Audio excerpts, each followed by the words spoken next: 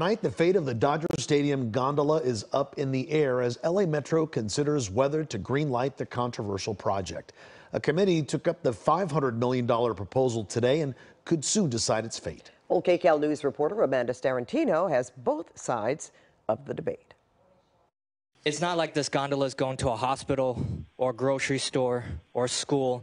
It was a divided room with about 200 people at LA Metro's headquarters to discuss a long awaited Metro project, a gondola transit system bringing people to Dodger Stadium. The current proposed project has the gondola picking up riders starting right here at Union Station, transporting thousands of people a mile and a half in the air, crossing over Chinatown. And within just minutes, baseball fans can skip all the traffic lines heading into Dodger Stadium and land right inside a parking lot within the gates. The route will be above Alameda Street with a stop in Chinatown and at Los Angeles State Historic Park, ending at the Dodger Stadium, also connecting people to Elysian Park and surrounding areas. The entire ride takes about seven minutes. For low-income people, low-income family that we live in the in, in the Northeast, and I think it's a great project. Supporters say the gondolas will improve mobility and accessibility. If I were to go to a game, I would get on a train in Orange County and and get off at Union Station and uh, take the gondola up to the Dodger Stadium. So,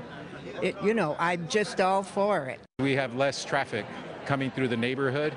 Uh, they will connect the state park to Cathedral High School. The project promises to ease congestion and lower pollution. Although it is privately funded, opponents worry about the $500 million price tag eventually falling on taxpayers. It's still unclear who's going to pay for it, who's going to maintain it. There is also concern for long-term impacts on Chinatown. So it's just shifting the uh, parking, the traffic situation to Chinatown. Chinatown is our home, and we don't want to have these columns uh, 200 uh, feet high in the, in the air, uh, destroy the beauty of Chinatown.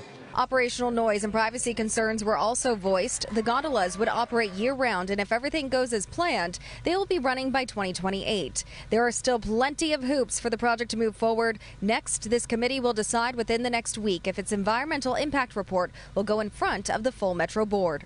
In downtown LA, Amanda Starrantino, KCAL News.